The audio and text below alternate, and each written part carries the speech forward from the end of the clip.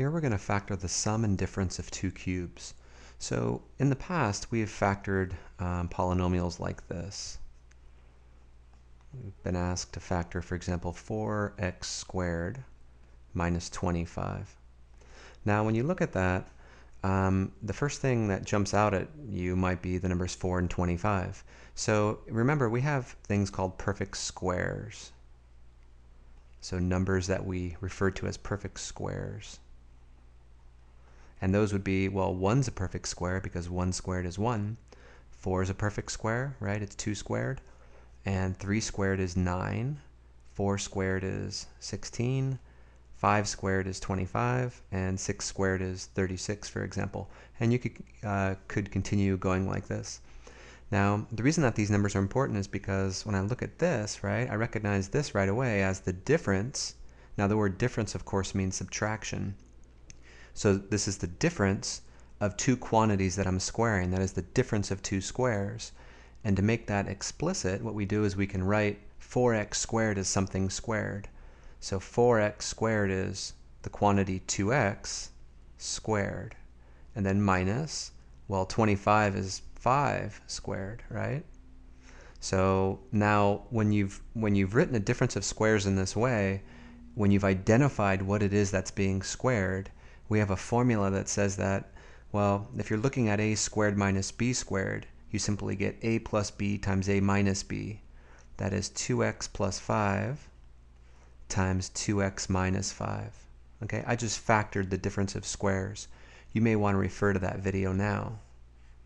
So we're going to do the same thing, but we're going to be working on the sum and difference of not squares, but cubes. Okay, so we're going to look not at perfect squares, but, but at what we're going to call perfect cubes. Let's write that down. What are some perfect cubes? Well, 1 cubed is 1, 2 cubed is 8, 3 cubed is 27, 4 cubed is, well, it's going to be 64, 5 cubed is 125. Now, you're not expected to know any cubes larger than that.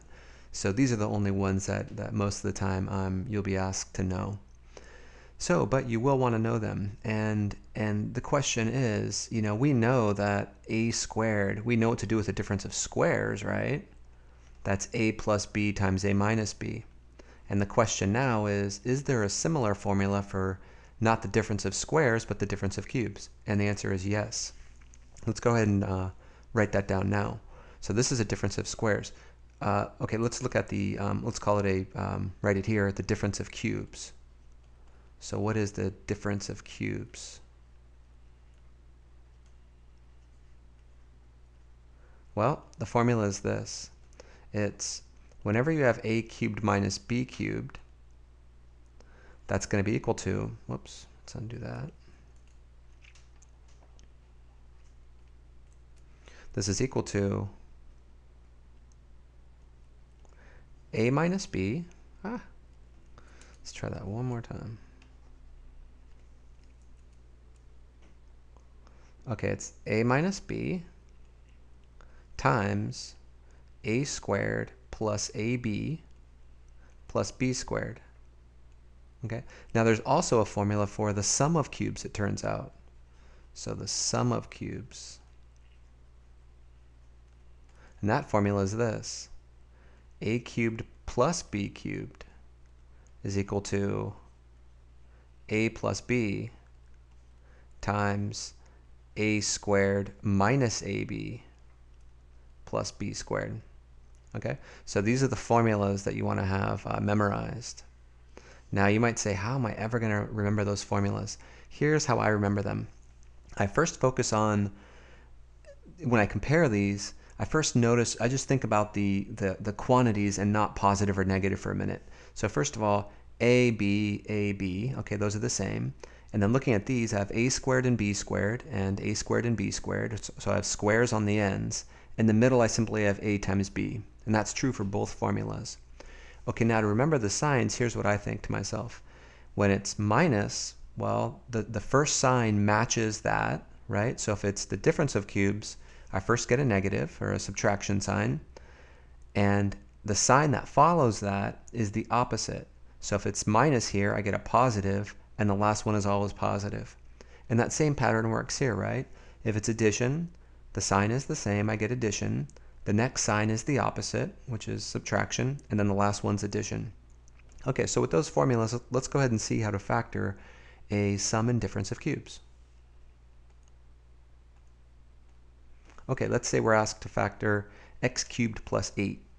So first of all, the, the 8 is the giveaway. Well, of course, the x cubed as well, but 8 is a perfect cube, right? Now remember, a cubed plus b cubed, right?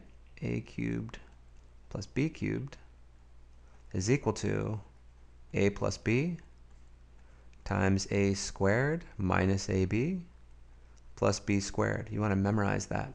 So the question is, what are a and b? So, well, a is clearly x because x is, you know, a is being cubed, x is clearly being cubed, so you can write that like this, right? I'm cubing x, and then plus, well, what are you cubing to get 8? That's going to be 2. So I'll write that in parentheses, and I've written it as 2 cubed. So my a is equal to x, and my b is equal to 2. So the formula says, well, you simply get, first of all, a plus b. So that means I'm going to get x plus 2. And then you multiply that by what? Well, it's a squared, so I'm going to get x squared. And then minus a times b, which is just 2x. And then finally plus b squared. So plus, and b is 2, right? So when I square that, I get 4. And that would be your answer. The trinomial that you get at the end of this, that is the trinomial right here, cannot be factored. So basically all we're doing is we're identifying a and b and simply plugging into this formula. Let's try another one. Okay, let's factor 54x cubed minus 16y cubed. Now, whenever you factor, you always, always, always, always, you want to always factor out the GCF first if you can. There was no GCF to factor out in the previous problem, but, the, but here there is. 54 and 16 have a common factor of 2. So we first write this as 2, and then we're left with, well, it's going to be, let's see, 2 times 27 x cubed minus 8 y cubed. Okay, now I'm looking at this and saying, hmm, it's subtraction, so it's a difference. And when I look at these, I see, well, maybe I have perfect cubes. And I do, right? Because 27 is 3 cubed and 8 is 2 cubed. So let me first identify what it is that's being cubed, just like before. So it's going to be 2. Now, when I write this, I'm going to need something in parentheses that I'm, that I'm, that I'm going to be cubing. That means I'm going to change these to brackets. So it's going to be bracket, and then I need a 3x. Why did I do that? Because I need to, I need to cube all of 3x to get 27x cubed and then minus, well, what do you cube to get 8y cubed? That's going to be 2y in parentheses and then cubed. So do you see what the a is? a is going to be 3x, and b, right, that is the other quantity that we cubed, is going to be 2y. So following my formula, it's going to be 2. And what does the formula say you get? Well, because it's subtraction, you first get a minus b, so it's going to be 3x minus 2y. And then the for the next factor, the first term is going to be a squared, which is going to be 9x squared, because I took the a and I squared it. And then plus, right, this sign is always opposite the first sign that you get there, plus just a times b, which is 6xy. And then finally plus, the last sign is always positive, the square of b, which is 4y squared. Okay, and the last polynomial that you get is prime. It can't be factored. So this would be our answer. Okay, and that's how you deal with factoring the sum and difference of two cubes.